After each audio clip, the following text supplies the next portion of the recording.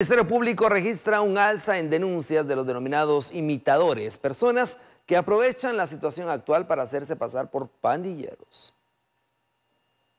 En comparación al año pasado se registra un alza de personas que se han hecho pasar por pandilleros con el fin de ganar dinero fácil. Esta es una, se puede decir una nueva modalidad, aunque sí, ha existido, pero ahora se ha incrementado en cuanto a los imitadores. Estas personas pues no son ni, pandilleros, ni, ni, mareros, ni zetas como se han identificado en otras oportunidades, sino son personas que se aprovechan de la oportunidad de lo que sucede con lo que se anuncia o se dice en un medio de comunicación y después ellos mismos se atribuyen es la comisión de ese hecho delictivo.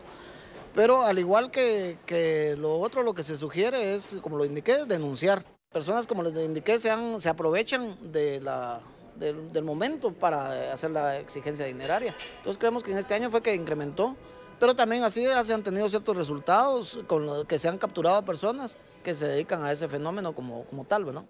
La Fiscalía contra las Extorsiones brindan las siguientes recomendaciones para detectar a los denominados imitadores. Puede ser que uno como persona agraviada no lo identifique, pero sí, al momento que se presenten ante nosotros, pues nosotros podemos decir si, si la persona que le está haciendo la exigencia es un imitador o es una persona pandillera, ¿verdad? Por eso es lo que le decía al principio, que es necesario que, que acudan o que llamen al número 1574 y a través de ahí pues, pueden dar ya el seguimiento al caso como corresponde. Se puede decir que la capital y, y sus municipios es donde se ha incrementado Fiscales establecen que la extorsión se podría incrementar con motivo de la cercanía de las fiestas de independencia, Día de los Santos y de fin de año.